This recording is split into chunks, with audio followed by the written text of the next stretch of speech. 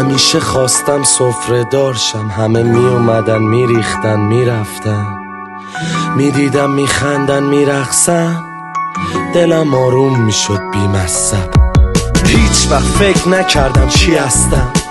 شهرت و این چیزا یعنی چی اصلا؟ اما ما و خیاط بوده. فکر نکنی یه وقت بیوصلم رفقا همه چیزم مال همه اونا. من فقط عوض میشه بار چمدونام. تو برو قایم شو لای همه پولات. تو منم اضافه شم به شمار پهلوونات بی خیال دیزاین خونم چون دوست نداشتم عمران و دیزاین بخونم. نه می‌خوام تو ایران بمونم تو ایران بخونم و ببینم که از یه سری بیمار یه ساعتای خودم و بیکار بدونم. زل بزنم از بالکن به تهرو روشن کنم سیگار یه دونم من بی خیال همه بی خیال پول بی خیال پرش سفید پیاده کول.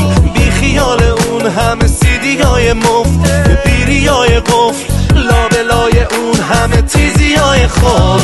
بی خیال شر خیال کفر بی خیال شر بی خیال پف بی خیال در بسته بی خیال جفت. میندازم به همه سر و شیبی های تو من بی خیال اقرب مقربه بی خیال دق مشغله. بی خیال عربد شربده عشق است منظر مزرعه. بی خیال موبایل سایلنت همش.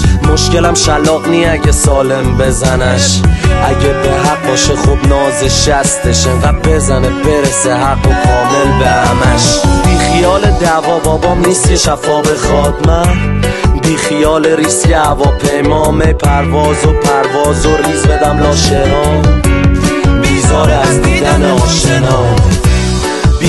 این زخم رو تنم. حتی اگه بریزم تو خونمم چیزی در نمیاد درویشم اینا رو مردم خوب دیدن که بودنم. بی خیال بازنده بودنم.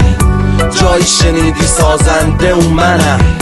خیلی وقتا کم آوردم خدافزی کردم ولی بازم که اومدم. من بی خیال همه بی خیال پول بی خیال پرش سفید پیاده کول بی خیال اون همه سیدی های مفت.